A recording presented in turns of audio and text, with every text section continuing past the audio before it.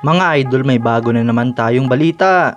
Pilipinas, malaki ang posibilidad na bumili pa ng mas maraming Black Hawk helicopters sa Poland. Yan ang pag-uusapan natin pero bago yan, kung bago ka lang sa aking channel, ay huwag mong kalimutang mag-like at subscribe para lagi kang updated sa mga bagong videos natin.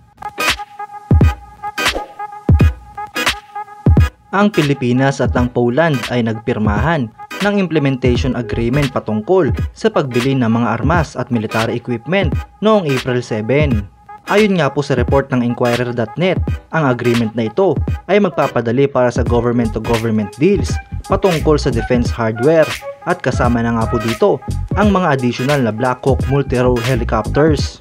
Kaya may malaking tsansa nga po mga idol na bumili pa ang Pilipinas ng mas maraming Black Hawk helicopters sa Poland.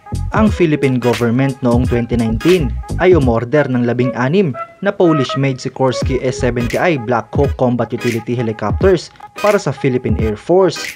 Anim na units nga po dito ay dumating na sa ating bansa habang 10 units pa ang aantayin na dumating sa ating bansa ngayong 2021. Mga idol dahil nga po sa implementation agreement na pinirmahan ng dalawang bansa ay mas napadali para sa Pilipinas na mag-acquire ng mga military equipment sa Poland. At dahil nga po dito ay aabangan na lang natin kung ano-ano ang bibilhin ng Pilipinas.